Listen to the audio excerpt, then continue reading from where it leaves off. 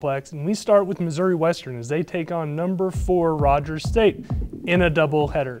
Missouri Western Sydney Raider in some early trouble with two on and one out, but Raider gets the K. Next batter.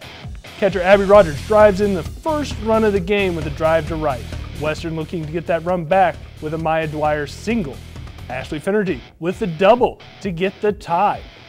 But after that, Raider and the Hillcats starter Sarah Lamas Howe rolled as they combined for 16 strikeouts and two earned runs over 22, 23 and two innings pitched on Saturday. Tied at 1 in the 12th, Lena Gass drops one in left, giving the Hillcats a 2 1 lead, and they weren't done as they go on to score 6 in the inning and win 7 1.